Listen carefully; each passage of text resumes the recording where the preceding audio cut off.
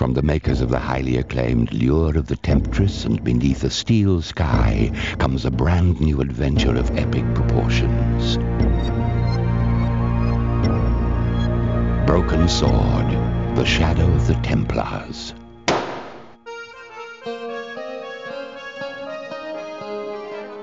An innocent vacation in Paris unwittingly whisks young American George Stobbart away on a mysterious and compelling escapade which could change the fate of man. As George, you are thrown into the arms of intrigue as you uncover a sinister collusion which could turn the world upside down. Embark upon a trailblazing exploration across Europe and the Middle East where the people you meet weave riddles around you.